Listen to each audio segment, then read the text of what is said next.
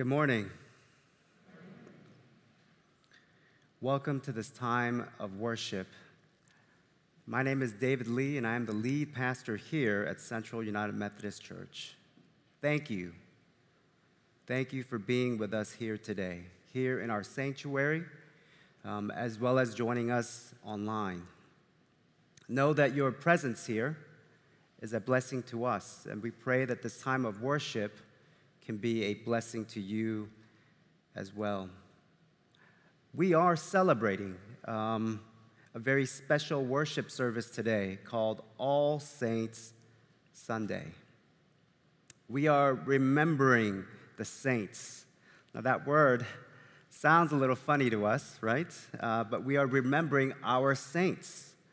Uh, that, that, that, is, that, is, that word is kind of an ancient word, but when we use that word saints, in one sense, we're simply referring to the faithful, those who have lived their life here and have moved on. But mind you, saints does not mean perfect, right?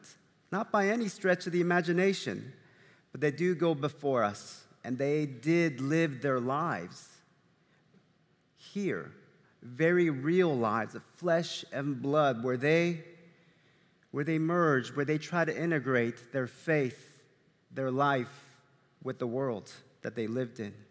And as such, all believers in that sense are called to strive and to exemplify that love of Christ in their lives. And, uh, and so we see these saints before us as an example to all of us who come after them. And on this day,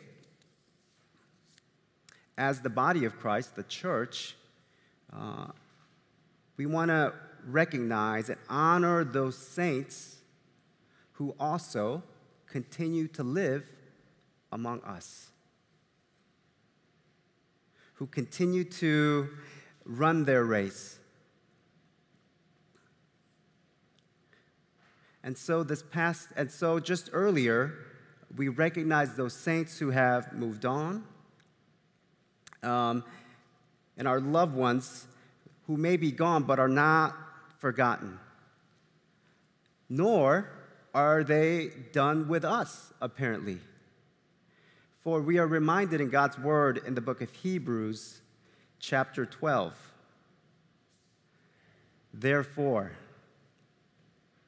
since we are surrounded by such a great cloud of witnesses, let us throw off everything that hinders and the sin that so easily entangles, and let us run with perseverance the race marked out for us, fixing our eyes on Jesus, the pioneer and perfecter of faith. For the joy set before him, he endured the cross, scorning its shame, and sat down at the right hand of the throne of God. Consider him who endured such opposition from sinners, so that you will not grow weary and lose heart. The saints, our saints who have gone before us, have formed a great cloud of witnesses. They may have passed on, but their life does not end. Rather, we're told that they have gathered. They have gathered and are cheering us on in order that we who remain can also run with perseverance the race that is marked out for us. This mortal life is the arena in which we are called to live out our life in faith, to strive to be as God, like God, as much as we can, as we continue to follow in the footsteps of our Lord. And so, as scripture reminds us, let us not grow weary or lose heart. What a comfort and an encouragement for us to know that we remain in their thoughts and in their hearts as they look to spur us on. So, on All Saints Sunday, as we have recognized those saints who have moved on, let us also take time now to recognize the communion of saints, by which we mean the body of Christ, the church. both the church universal across denominations the world over, as well as the local congregation. The church, the body of Christ, is the communion of saints. The saints on earth. As believers, we belong to this communion of saints. This word communion in the Greek is the word koinonia. Koinonia. It's an embrace of community and fellowship. An embrace of community and fellowship. The Apostle Paul describes it as a community that is bound together in faith and common experience and common life that we have together. So it's all about the believers coming together in hope and love and unity and the worship of our God. That's the kind of community and fellowship the church ought to have with one another. This is the kind of community, koinonia, that we as communion, as the communion saints, are to strive for. We saw we, we saw the first occurrence of this koinonia in Acts chapter 2. I don't have the scripture for us today, but I want you to listen as I read these words to you, speaking about the fellowship of believers from Acts chapter 2. All who believed were together and had all things in common. They would sell their possessions and goods and distribute the proceeds to all as any had need day by day, as they spent much time together in the temple, they broke bread at home and ate their food with glad and generous hearts, praising God and having the goodwill of all the people. And day by day, the Lord added to their number those who were being saved. That's what koinonia looks like. That's what church is to look like the communion of saints. The Apostle Paul adds on to this notion of koinonia with these words by being like minded, having the same love, being one in spirit, and of one mind.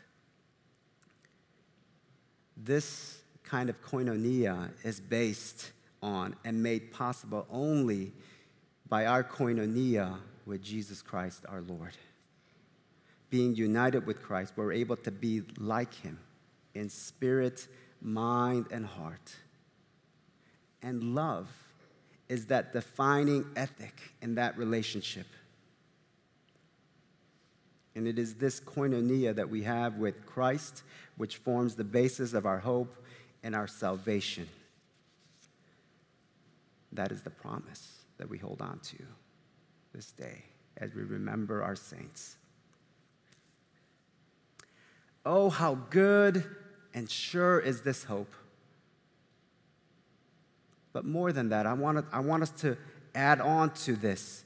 Hear now from John in his first letter to John in chapter 3. See what great love the Father has lavished on us that we should be called children of God.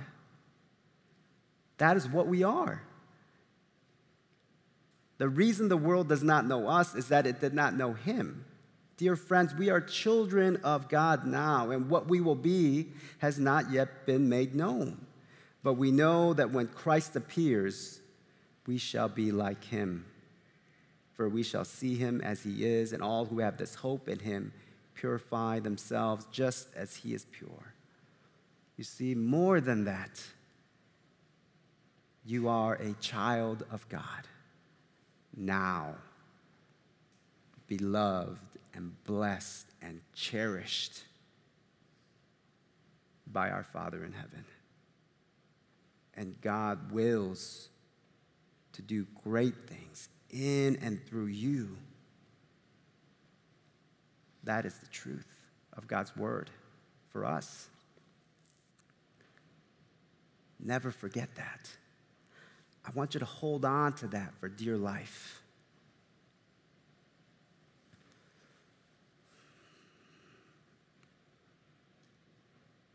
This pandemic that we have been living through for the past year and as, for the past year and a half uh, has taken away the usual ways that we tend to the loss of loved ones in our lives.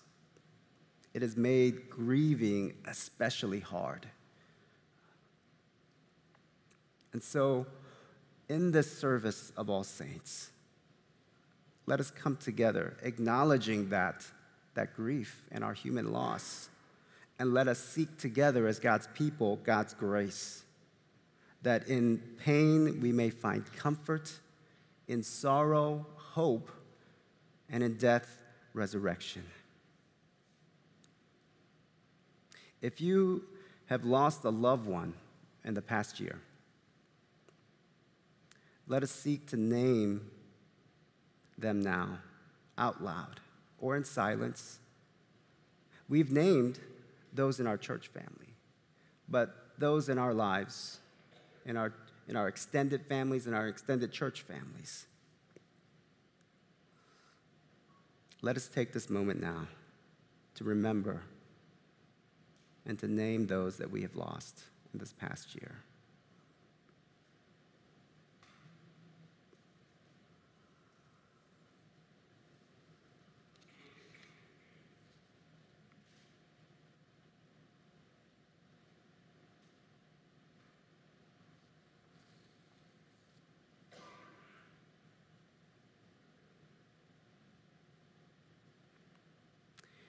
I want to give you a time later in the service to acknowledge those losses and to honor that loss. These, these past 18 months have been rough. So rough that I, I feel like we haven't caught up yet to all that has happened over this past year and a half. We're still living in it, and we haven't caught up to it. So I want to take some time, not just for those saints that have moved on, but for the communion of saints that continue to live on here.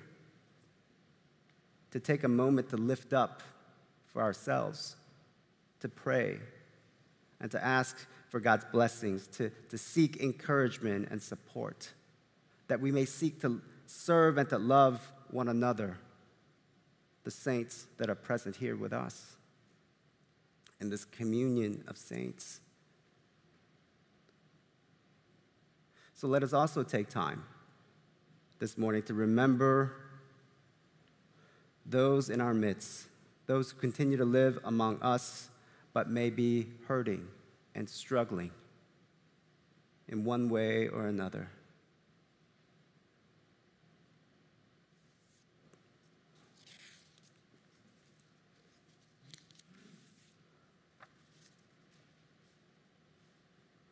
Let us remember those on our prayer list.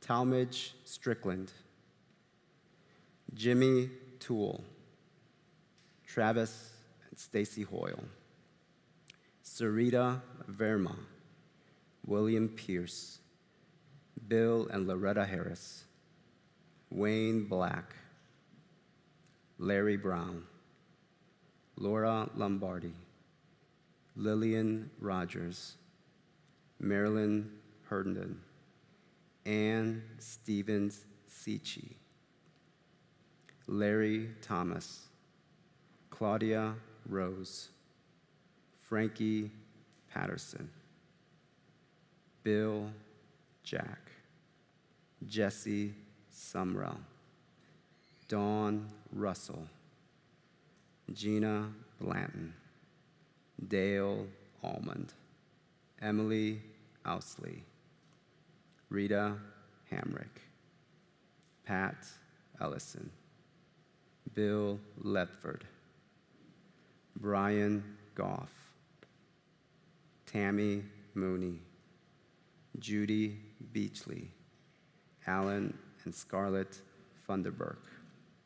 And we lift up all those who remain in our hearts this day. In just a moment, we will be celebrating Holy Communion together. And you'll be asked to come forward to receive your elements here in the baskets up at the altar.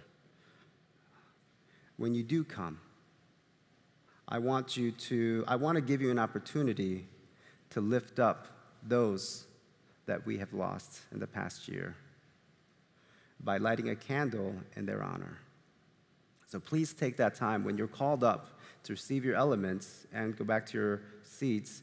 That if there's somebody that you want to remember that you have lost, please use that time to light a candle for them.